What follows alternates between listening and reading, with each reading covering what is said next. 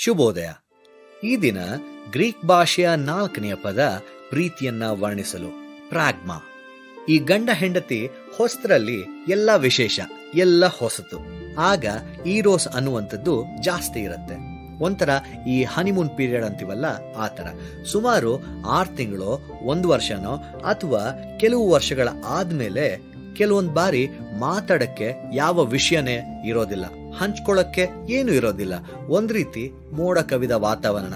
ಬಿರುಗಾಳಿ ಜೊತೆ ಜೋರ್ ಮಳೆ ಬರುವಂತ ಸಂಭವ. ಈ ಹಂತ ದಾಟಿದ ಮೇಲೆ ನೈಜ ಜೀವಿತದಲ್ಲಿ ಪಯಣ ಮಾಡುವಾಗ ಒಂದು ಹೊಸದಾದ ಪ್ರೀತಿ, ಒಬ್ಬರಿಗೊಬ್ಬರು ಬಿಟ್ಟು ಕೊಡದೆ ಇರುವಂತ ಪ್ರೀತಿ, ಜೊತೆಯಲ್ಲೇ ಬೆಳೆದು ದಿನಗಳನ್ನು, ವರ್ಷಗಳನ್ನು ಅನುಭವಿಸುವಂತ ಪ್ರೀತಿ ಇದೆಯಲ್ಲ? ಇದು ಪ್ರಾಗ್ಮಾ ಅಂದ್ರೆ. ನಿರಂತರ ಪ್ರೀತಿ ಅಂತನೂ ಹೇಳ್ಬೋದು. ಯಾವ ಬಿರುಗಾಳಿ ಬಂದ್ರು, ಚಂಡಮಾರುತ ಬಂದ್ರು, ಮುರಿದೆ ಜೊತೆಗೆ ನಿಂತು ಬದುಕುವಂತ ಪ್ರೀತಿ ಇದು. ಆದಿಕಾಂಡ ಪುಸ್ತಕ ಹನ್ನೆರಡನೇ ಅಧ್ಯಾಯ ಮೊದಲುಗೊಂಡು ಒಂದು ಸುಂದರವಾದ ಕುಟುಂಬ ಕಾಣಸಿಗ್ತದೆ. ಅದೇ ಅಬ್ರಹಾಮ ಮತ್ತು ಸಾರಳ ಕುಟುಂಬ.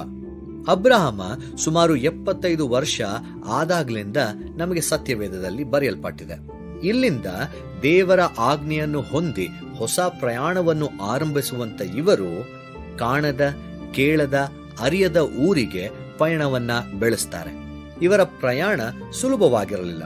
ಐಗುಪ್ತ ದೇಶದಲ್ಲಿ ಕಷ್ಟ, ಗೆರಾರಿನ ಅರಸನ ಮೂಲಕ ಕಷ್ಟ, ಬರಗಾಲ, ಮನಸ್ತಾಪ, ಲೋಟನಿಂದ ಅಗಲುವಿಕೆ, ಮುಪ್ಪು ತೀರಿ, ಮುಟ್ಟು ನಿಂತು, ವೃದ್ಧಾಪ್ಯದಲ್ಲಿದ್ದರೂ ಮಕ್ಕಳಿರಲಿಲ್ಲ.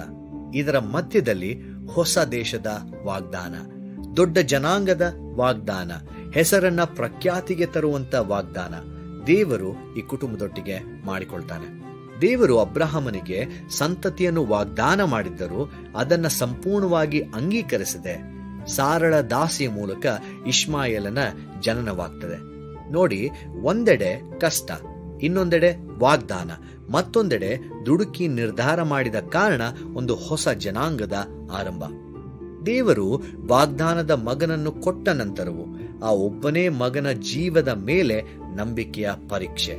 ಈ ಎಲ್ಲಾ ಸಂದರ್ಭದಲ್ಲೂ ಮರಣವು ಅವರನ್ನು ಅಗಲಿಸುವ ತನಕ ಇವರು ಜೊತೆ ಬಾಳ್ವೆಯನ್ನ ಮಾಡ್ತಾರೆ.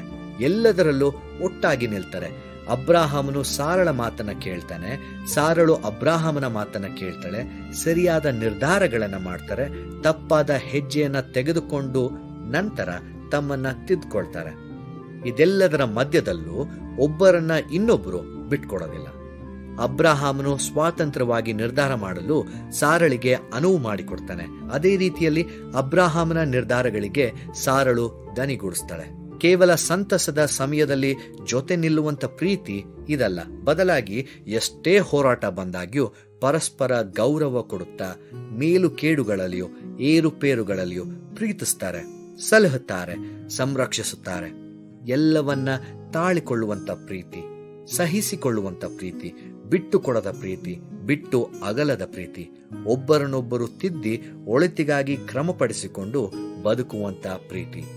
ಗಂಡ ಹೆಂಡತಿಯ ಜೊತೆ ನಿಲ್ಲಲು ಅಥವಾ ಹೆಂಡತಿ ಗಂಡನ ಜೊತೆ ನಿಲ್ಲಲು ಎಷ್ಟು ದೂರ ಪ್ರಯಾಣ ಮಾಡಬಹುದು ಇದನ್ನು ನಿರ್ಧರಿಸಿ ಒಂದಾಗಿ ಇಡುವಂತ ಪ್ರೀತಿ ಈ ಪ್ರಾಗ್ಮ ಈ ದಿನಮಾನಗಳಲ್ಲಿ ನಮ್ಮ ಕುಟುಂಬಗಳಲ್ಲಿ ಪರಸ್ಪರ ಪ್ರೀತಿ ಹೇಗಿದೆ? ತಾಳಿಕೊಳ್ಳುವಂತ ಪ್ರೀತಿ ಆಗಿದೆಯಾ?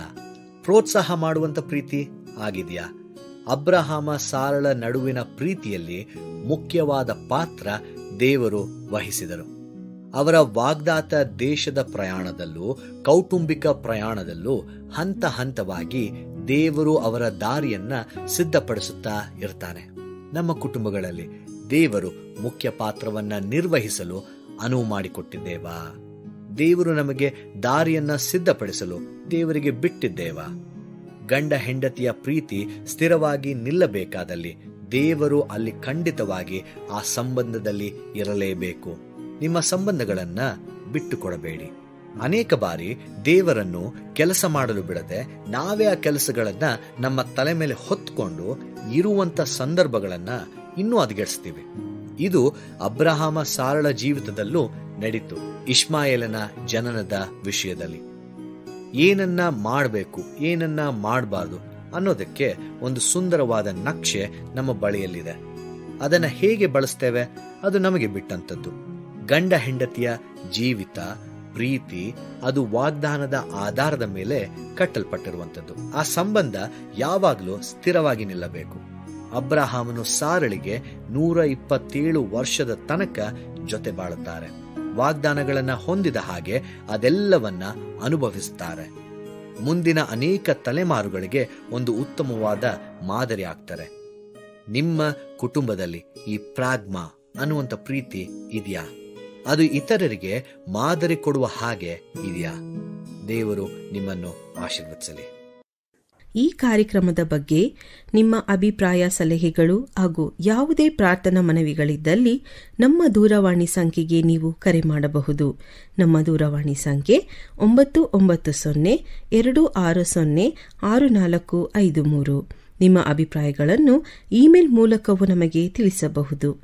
ನಮ್ಮ email ID info at feeba online dot O R G ವಂದನೆಗಳು.